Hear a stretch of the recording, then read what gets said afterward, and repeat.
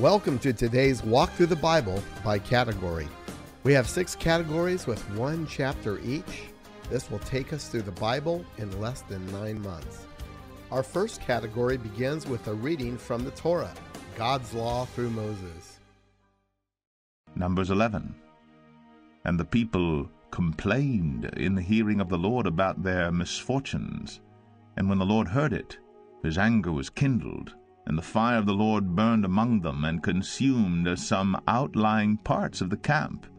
Then the people cried out to Moses, and Moses prayed to the Lord, and the fire died down. So the name of that place was called Taberah, because the fire of the Lord burned among them. Now the rabble that was among them had a strong craving. And the people of Israel also wept again and said, Oh, that we had meat to eat! We remember the fish we ate in Egypt that cost nothing, the cucumbers, the melons, the leeks, the onions, and the garlic. But now our strength is dried up, and there's nothing at all but this manna to look at. Now the manna was like coriander seed, and its appearance like that of bdellium. The people went about and gathered it, and ground it in hand mills, or beat it in mortars, and boiled it in pots, and made cakes of it. And the taste of it was like the taste of cakes baked with oil. When the dew fell upon the camp in the night, the manna fell with it. Moses heard the people weeping throughout their clans, every one at the door of his tent. And the anger of the Lord blazed hotly, and Moses was displeased. Moses said to the Lord, Why have you dealt ill with your servant? And why have I not found favor in your sight that you lay the burden of all this people on me? Did I conceive all this people? Did I give them birth that you should say to me, Carry them in your bosom as a nurse carries a nursing child, to the land that you swore to give their fathers? Where am I to get meat to give to all this people? For they weep before me and say, Give us meat, that we may eat. I am not able to carry all this people alone. The burden is too heavy for me. If you will treat me like this, kill me at once if I find favor in your sight, that I may not see my wretchedness. Then the Lord said to Moses, Gather for me seventy men of the elders of Israel, whom you know to be the elders of the people and officers over them, and bring them to the tent of meeting. And let them take their stand there with you and I will come down and talk with you there. And I will take some of the Spirit that is on you, and put it on them. And they shall bear the burden of the people with you, so that you may not bear it yourself alone. And say to the people, Consecrate yourselves for tomorrow, and you shall eat meat. For you have wept in the hearing of the Lord, saying, Who will give us meat to eat? For it was better for us in Egypt. Therefore the Lord will give you meat and you shall eat.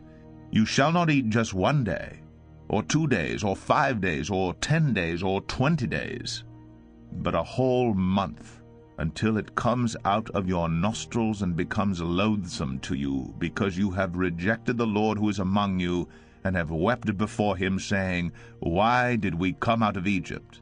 But Moses said, The people among whom I am number six hundred thousand on foot, and you have said, I will give them meat, that they may eat a whole month? Shall flocks and herds be slaughtered for them, and be enough for them? Or shall all the fish of the sea be gathered together for them, and be enough for them? And the Lord said to Moses, Is the Lord's hand shortened? Now you shall see whether my word will come true for you or not. So Moses went out and told the people the words of the Lord, and he gathered seventy men of the elders and of the people and placed them around the tent. Then the Lord came down in the cloud, and spoke to him, and took some of the Spirit that was on him, and put it on the seventy elders. And as soon as the Spirit rested on them, they prophesied, but they did not continue doing it. Now two men remained in the camp, one named Eldad, and the other named Medad, and the Spirit rested on them. They were among those registered, but they had not gone out to the tent, and so they prophesied in the camp. And a young man ran and told Moses, Eldad and Medad are prophesying in the camp. And Joshua the son of Nun, the assistant of Moses from his youth, said, My lord Moses, stop them. But Moses said to him, Are you jealous for my sake? Would that all the Lord's people were prophets, that the Lord would put his Spirit on them. And Moses and the elders of Israel returned to the camp. Then a wind from the Lord sprang up, and it brought quail from the sea, and let them fall beside the camp, about a day's journey on this side, and a day's journey on the other side around the camp, and about two cubits above the ground. And the people rose all that day and all night and all the next day, and gathered the quail. Those who gathered least gathered ten homers, and they spread them out for themselves all around the camp while the meat was yet between their teeth before it was consumed, the anger of the Lord was kindled against the people, and the Lord struck down the people with a very great plague. Therefore the name of that place was called Kibroth Hattaavah, because there they buried the people who had the craving. From Kibroth Hattaavah the people journeyed to Hazeroth, and they remained at Hazeroth. Our second chapter is from Israel's history. 2 Kings 2. Now when the Lord was about to take Elijah up to heaven by a whirlwind, Elijah and Elisha were on their way from Gilgal. And Elijah said to Elisha, Please stay here, for the Lord has sent me as far as Bethel. But Elisha said, As the Lord lives, and as you yourself live, I will not leave you. So they went down to Bethel. And the sons of the prophets who were in Bethel came out to Elisha and said to him, Do you know that today the Lord will take away your master from over you? And he said, Yes, I know it. Keep quiet. Elijah said to him, Elisha, please stay here, for the Lord has sent me to Jericho. But he said, As the Lord lives, and as you yourself live, I will not leave you. So they came to Jericho. The sons of the prophets who were at Jericho drew near to Elisha and said to him, Do you know that today the Lord will take away your master from over you? And he answered, Yes, I know it. Keep quiet. Then Elijah said to him, Please stay here, for the Lord has sent me to the Jordan. But he said, As the Lord lives, and as you yourself live, I will not leave you. So the two of them went on. Fifty men of the sons of the prophets also went and stood at some distance from them, as they both were standing by the Jordan. Then Elijah took his cloak, and rolled it up, and struck the water, and the water was parted to the one side and to the other, till the two of them could go over on dry ground. When they had crossed, Elijah said to Elisha, Ask what I shall do for you before I am taken from you. And Elisha said, Please, let there be a double portion of your spirit on me. And he said, You have asked a hard thing. Yet if you see me as I am being taken from you, it shall be so for you. But if you do not see me, it shall not be so. And as they still went on and talked, behold, chariots of fire and horses of fire separated the two of them. And Elijah went up by a whirlwind into heaven. And Elisha saw it, and he cried, My father, my father, the chariots of Israel, and its horsemen. And he saw him no more. Then he took hold of his own clothes, and tore them in two pieces. And he took up the cloak of Elijah that had fallen from him, and went back and stood on the bank of the Jordan.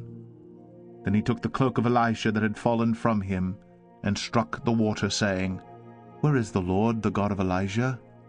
And when he had struck the water, the water was parted to the one side and to the other, and Elisha went over.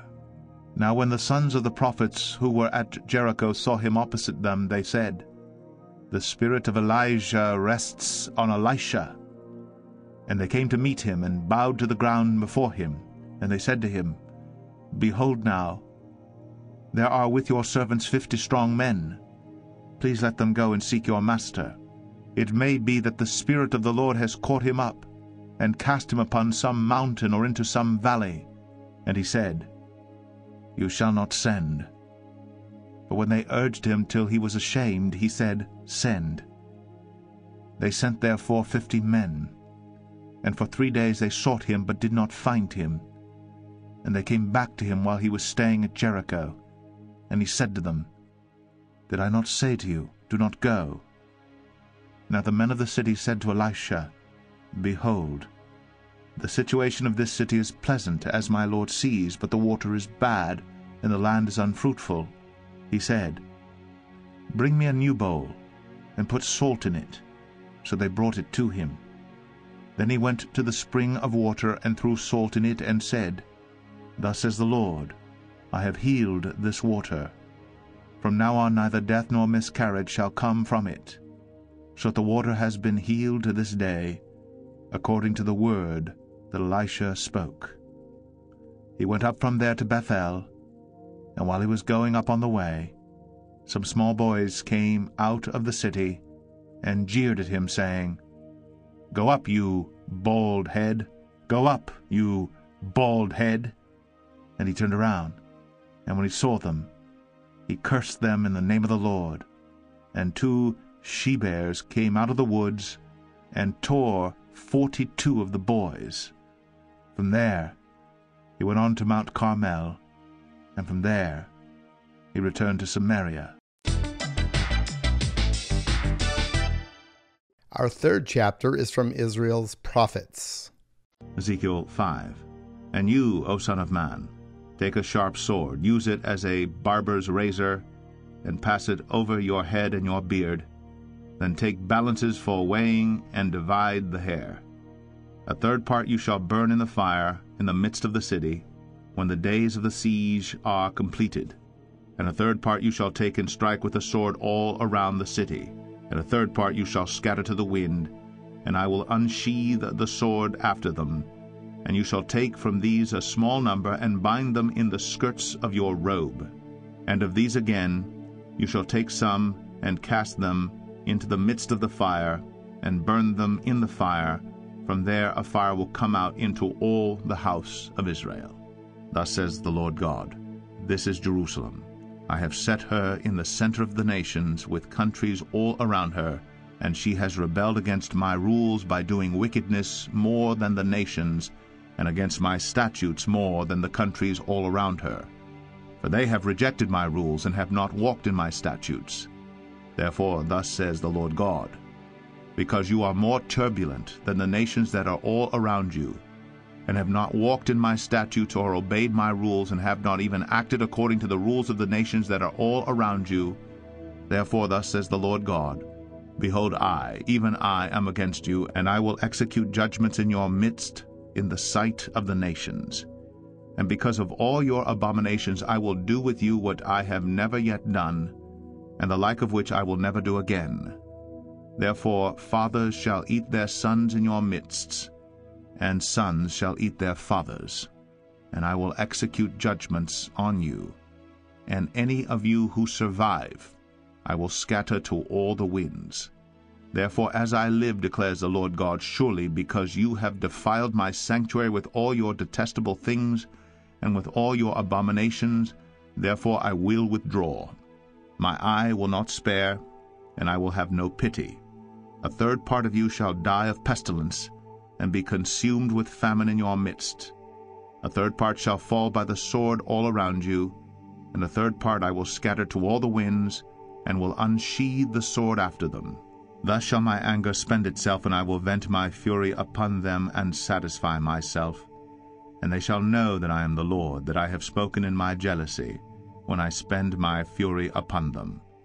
Moreover, I will make you a desolation and an object of reproach among the nations all around you, and in the sight of all who pass by.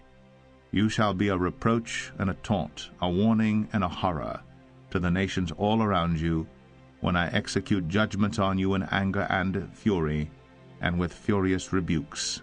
I am the Lord, I have spoken when I send against you the deadly arrows of famine, arrows for destruction, which I will send to destroy you, and when I bring more and more famine upon you, and break your supply of bread.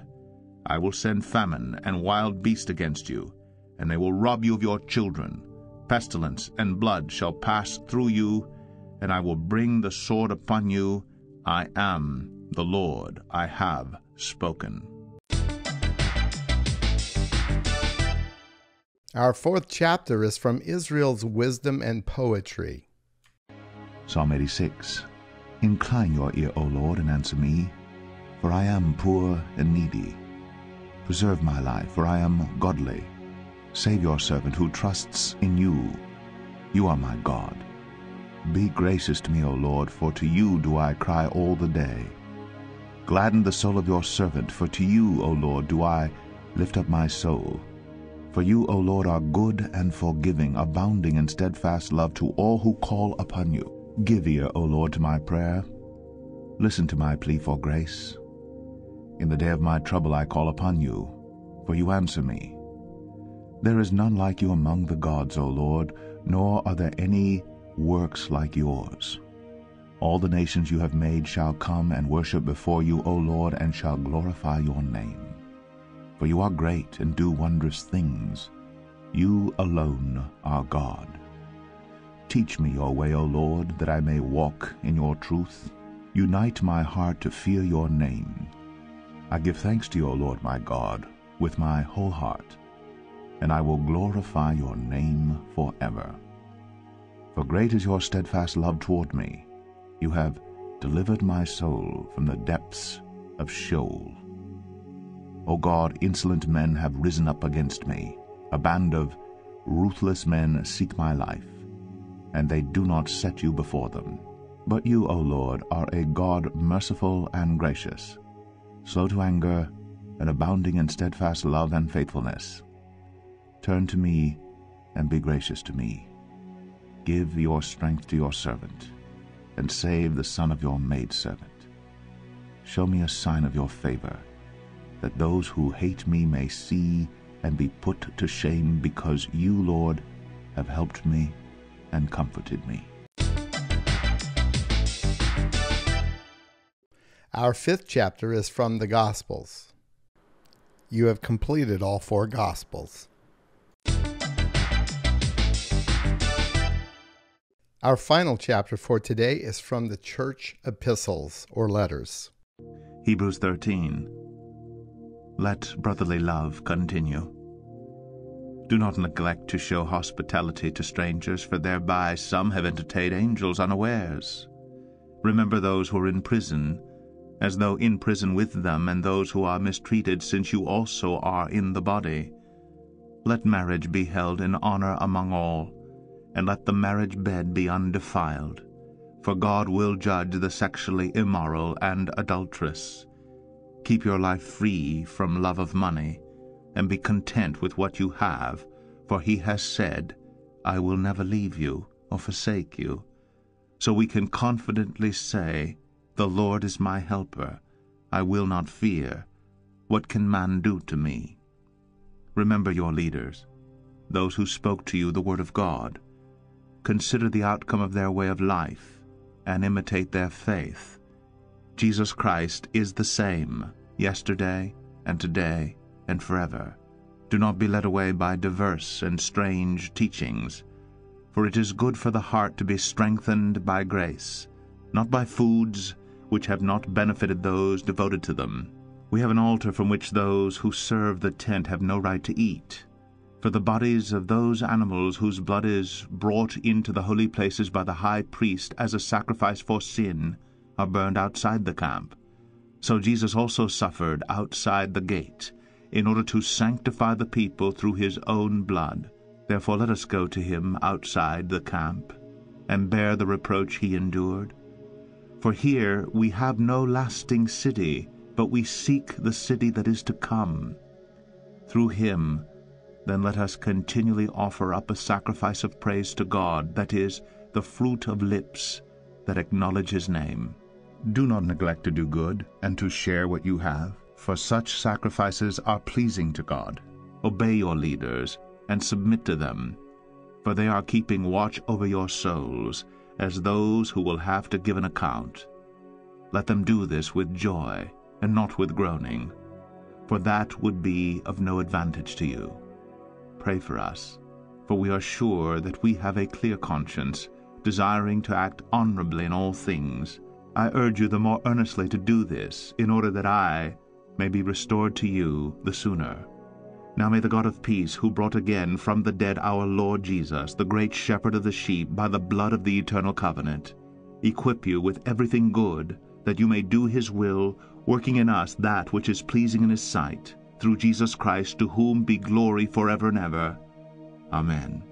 I appeal to you, brothers, bear with my word of exhortation, for I have written to you briefly. You should know that our brother Timothy has been released, with whom I shall see you if he comes soon. Greet all your leaders and all the saints. Those who come from Italy send you greetings. Grace be with all of you.